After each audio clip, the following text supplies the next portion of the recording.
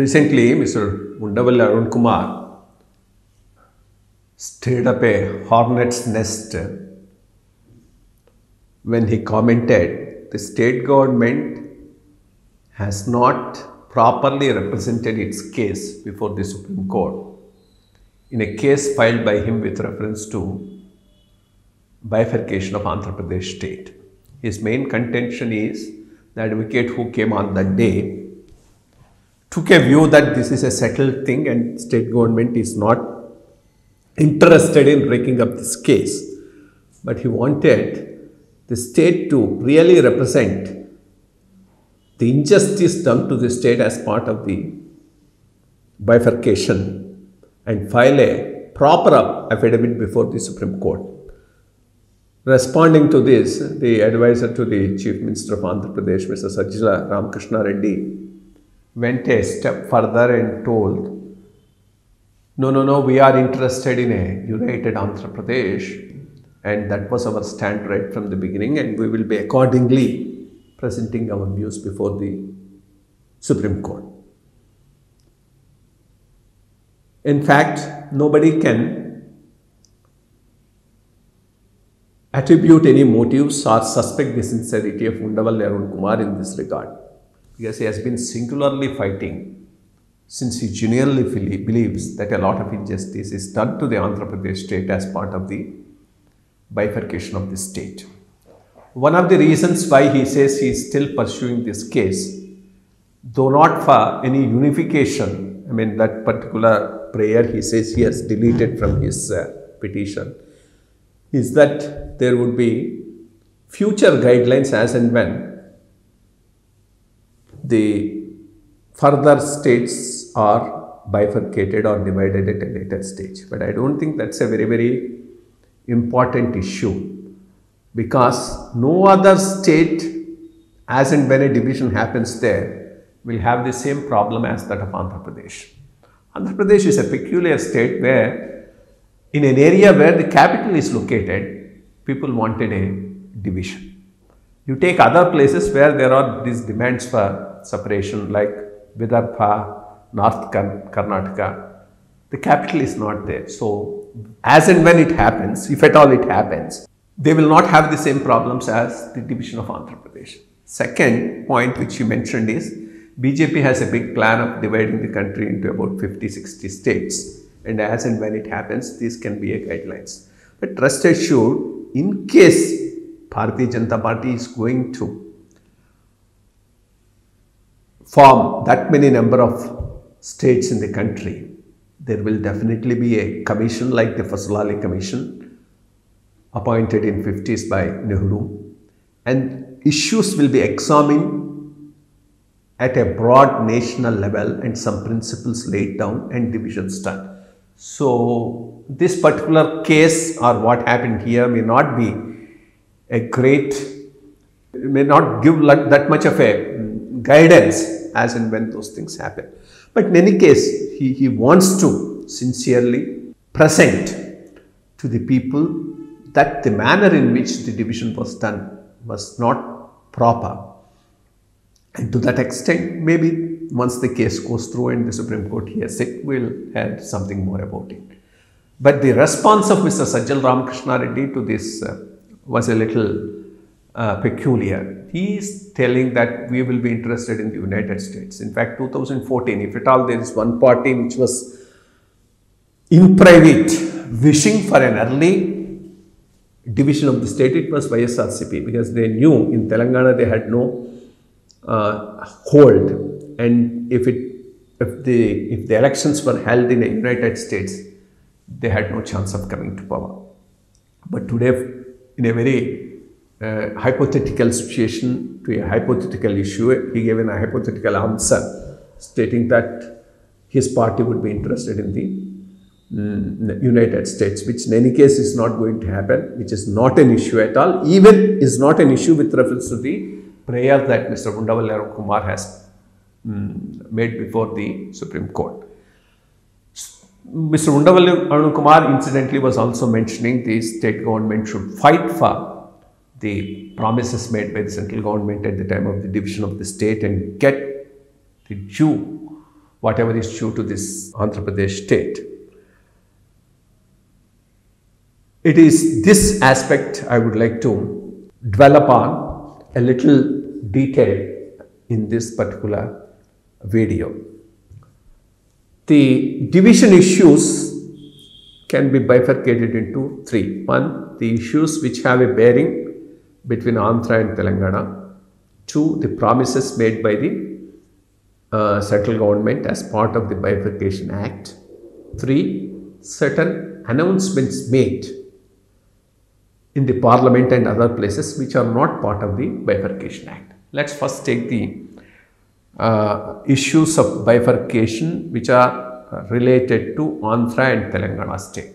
The first most important thing is staff. The division of the staff is done very quickly uh, except the electricity utilities where the unions played a part. So it got complicated. This of course finally landed up in the High Court and then to the Supreme Court and then there was this Dharmadhikari Commission which has been appointed and they have clearly laid down the principles of division of staff between Andhra and Telangana which is being followed now. So to that extent that also is sorted out. So the staff wise there is no issues. That brings us to Schedule 10 and Schedule 9 institutions. That is also bifurcated. On that also there is no issue. So that brings us to Schedule 9 and Schedule 10 institutions. Schedule 10 institutions are those institutions which are located exclusively in Hyderabad but which had a jurisdiction all over the state. Andhra's contention is they should also be divided on the basis of the population. Telangana's contention is they should be divided based upon location.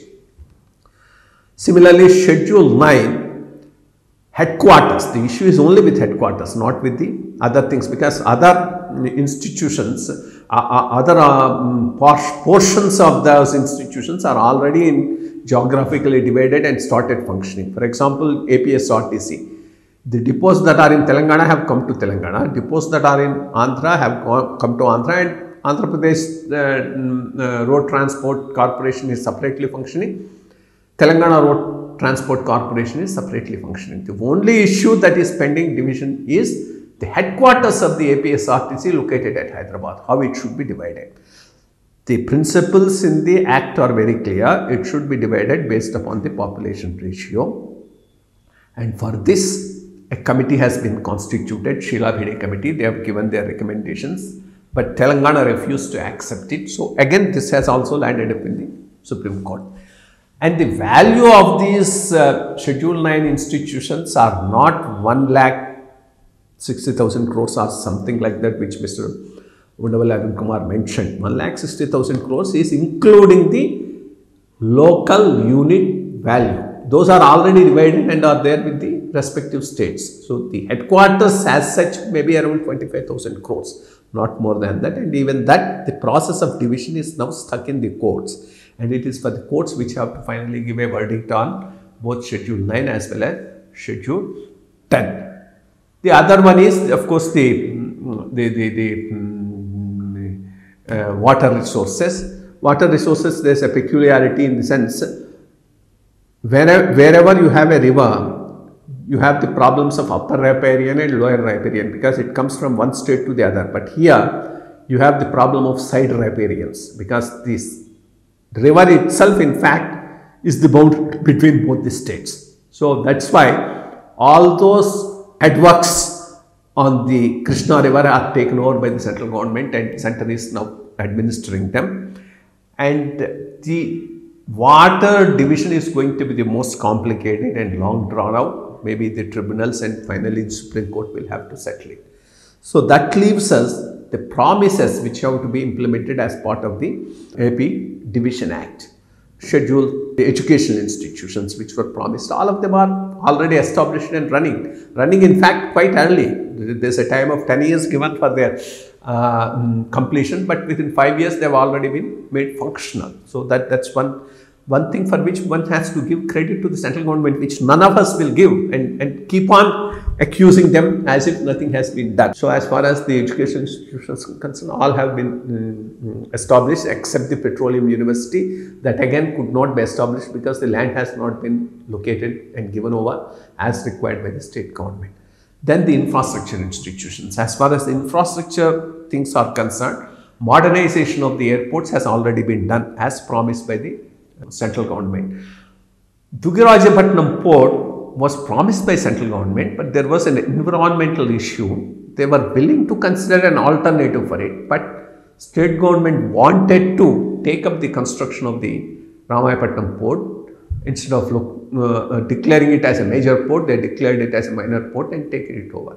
If they have declared it as a major port, definitely the whole funds would have come from government of India, but of course the management also would have been with government of India. Uh, this, this is something peculiar with the state government, both uh, Telugu Desam as well as uh, YSRCP. They want central funds, but they want local contracts.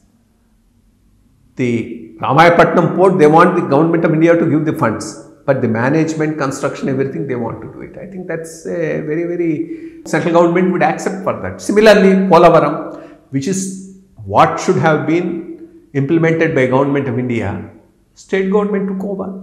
And now you blame the center and you inflate the uh, uh, estimates and the rates. So this is something that's going on with the state government. So that, that, that leaves out the port issue.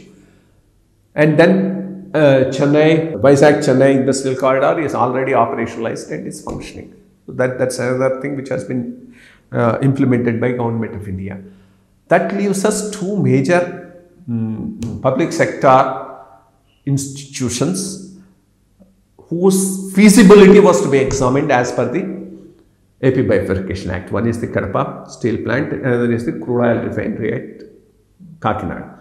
Both on examination are found to be unviable. Second, as on date, central government as a matter of policy is not setting up any PSUs. Nowhere, nowhere in the country. So, these two PSUs will be set up separately when there is no specific uh, division uh, bifurcation act mandate it may not really happen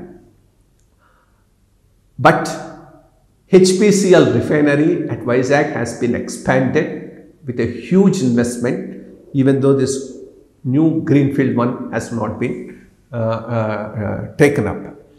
The best way of doing this would be whatever is the investment that is going to come for the Kadapa steel plant or for crude oil refinery uh, uh, at Kakinada, quantify that, ask for funds, additional funds under different schemes of government of India in terms of infrastructure, roads, railways, smart cities, etc. Maybe that amount can come in that form. But for that, the state government should have a clear idea of giving a form end to these bifurcation issues.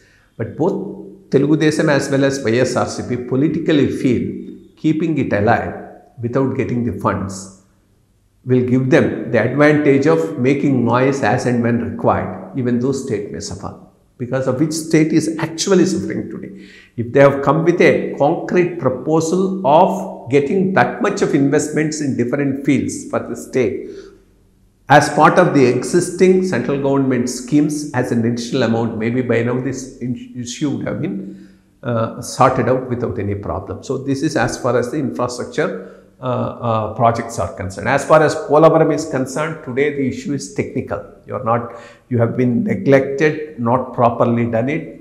You, you got stuck with the uh, uh, technical issues which need to be sorted out. funds as required have been given and central government is willing to give further funds. But then first the construction has to go out and for that the technical issues need to be uh, uh, sorted out. Then the resource gap for the year 2014-15 where a bloated amount uh, including all the freebies that the then government was trying to give was pushed into that and a huge amount of about 16,000 crores was asked from government of India. Government of India has committed itself to whatever is the actual additional expenditure because of division came to that about 4000 crores and has given it a little more is due and which they are willing to give it.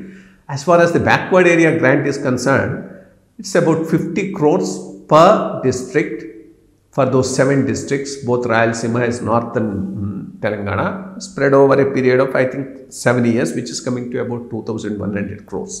Out of it, 1,750 crores is given. Balance they are willing to give. Government of Andhra Pradesh is yet to submit the UC for the earlier amounts that they have taken. So that's where it stands.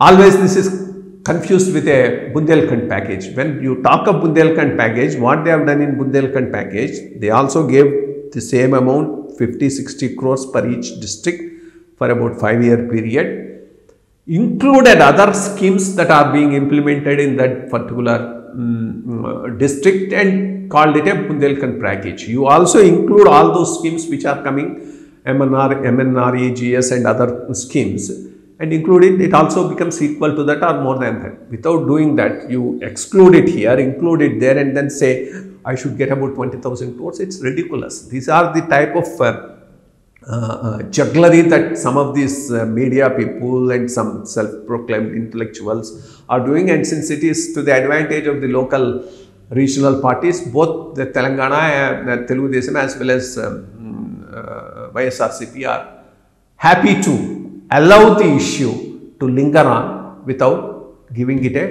final full stop. So this, this is broadly the uh, issue about the division issues.